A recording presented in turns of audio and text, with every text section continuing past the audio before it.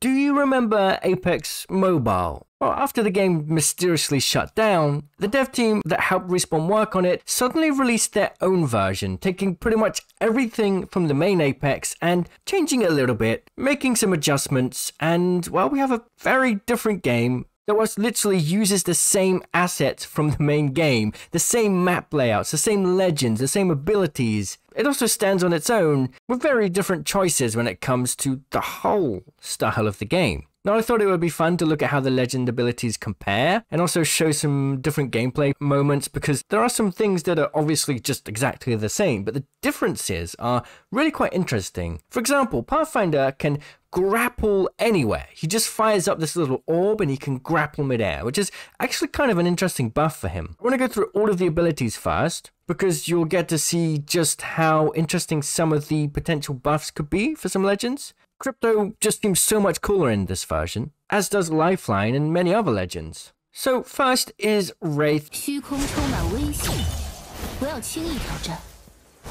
Now, if you've seen any of my Apex Mobile China shorts, then you'll know Wraith is pretty much the same. Quite a similar style in terms of her appearance, and the abilities are no different from the main game, although the portal does look a little bit different. You know, some stylistic changes, nothing massive though. Things do get really interesting when you go to Lifeline though. Oh,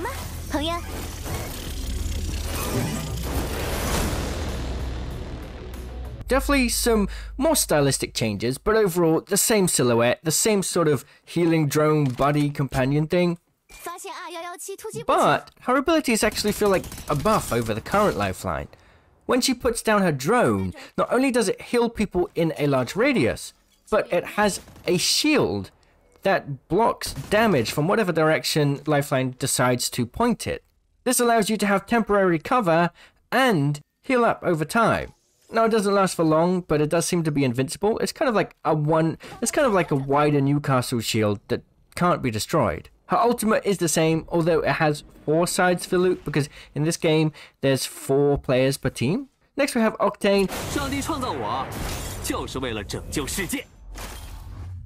Octane is pretty much the same. He can stim and he's got a jump pad, but well, he doesn't actually stim. He he drinks energy drinks. Not sure what drove that stylistic change, but the jump pad is actually so much better than the main game because once you jump on it, you can change direction in the air so much more fluidly, which basically allows any player to quote unquote tap strafe without actually inputting a tap strafe in game. It just adds more fluidity to the movement midair. I don't know if that would be a good thing, if it would create readability issues for the main game, but it feels super fun. And what you'll see with a lot of the other legends later on is that these abilities are just so much more fun.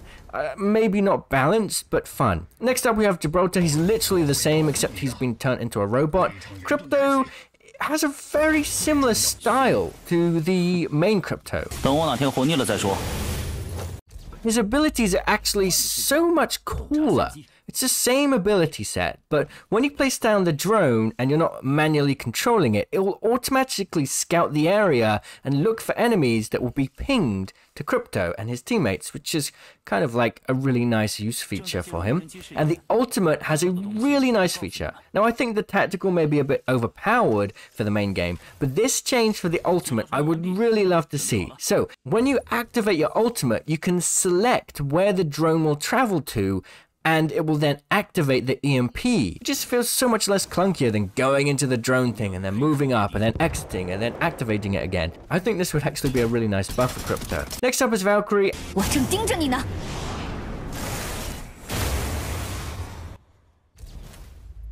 And like I said earlier, any kind of movement ability in this game is just so much better. And you'll see later on in this game what I mean by how much better. Like, I'm going to do some wall jumps and sliding and grappling, and the movement's just nuts in this game. With Valkyrie, it's pretty much the same, no difference besides better air movement with her jetpack. Next we have this weird legend that isn't actually a part of Apex. Now, these guys had all of the files, everything that was in development for Apex Mobile. So this could have been an upcoming legend. I have no idea. But basically, she kind of goes invulnerable for a, a while with her tactical. And her ultimate seems to be like this massive healing radius thing. Not really sure.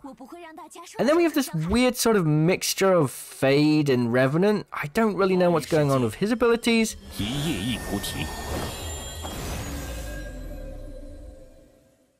And then we have Bloodhound. 要开始了吗？我的每个毛孔都在燃烧。 Yeah, it doesn't look like Bloodhound, but it's the same abilities there, uh, in every single way. Now, just to show how crazy this is, let's jump into a game and you'll see everything is the same. You'll know this is Apex Legends if you didn't believe me already. Here we go. So that is Epicenter. This is Capital City. This is Refinery. Uh, here's Overlook. We got uh, Geyser. I can't remember the name. You got Sorting Factory. You got Harvester.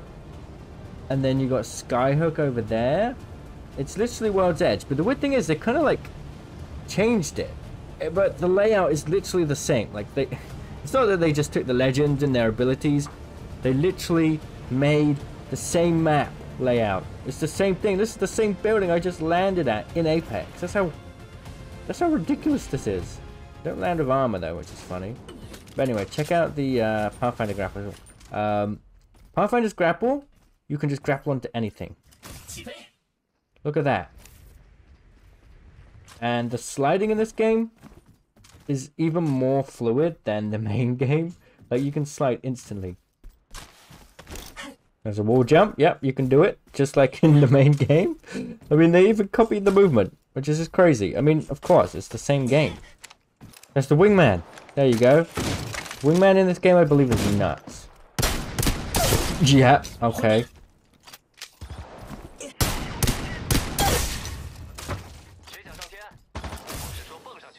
It's the same building! Look at the speed! This is, of course, streamer building.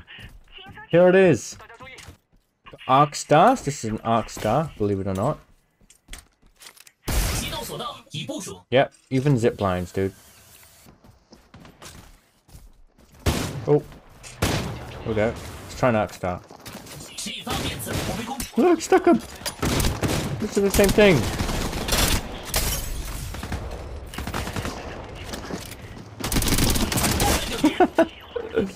oh my god. Look, they even have the cargo drones. Look at that! That's literally a cargo drone. Player there.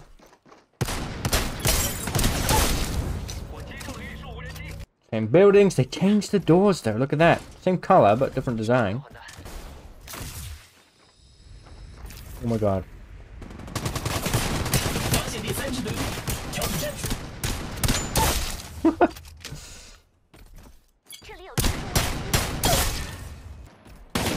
we got it. The wall jump here. There's a jump pad. And you can grapple into it. Of course you can. Literally harvester. what? There's the bridge. And who can forget redeploy balloons? Oh, and care packages. There's a care package. We got a Kraber. Yes, we have a Kraber. It's literally the same model. Look at it. There we go. Get closer. Oh, imagine if we hit that dude.